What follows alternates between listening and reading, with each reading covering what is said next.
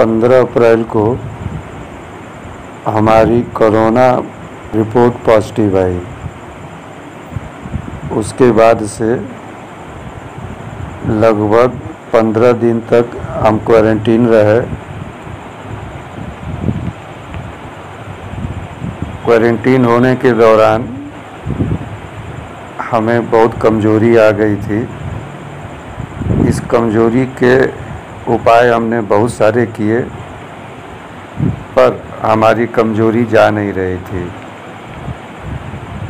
इसी दौरान हमने श्री गोविंद प्रसाद जी को अपनी समस्या के बारे में लिखा।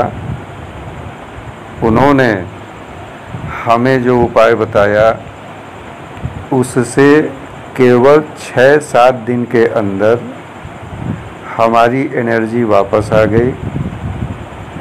हम ऑफ़िस में काम करते हैं, जहाँ हमको 10 बजे से 6 बजे 7 बजे तक काम लगातार करना पड़ता है।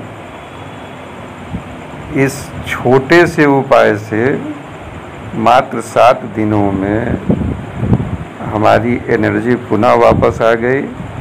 अब हम सुबह सो के उठ करके अपनी दिनचर्या करने के साथ साथ अपना खाना बनाते हैं। खाना बनाने के बाद से 10 से 5 बजे की नौकरी भी करते हैं और शाम में आ कर के पुनः खाना बनाते हैं। यह उपाय मेरे लिए किसी चमत्कार से कम नहीं है, क्योंकि मात्र सात दिनों के अंदर, आठ दिनों के अंदर एनर्जी वापस आ जाना बहुत बड़ी उपलब्धि है। इसके पहले हम लगातार एक घंटे से अधिक काम नहीं कर पा रहे थे।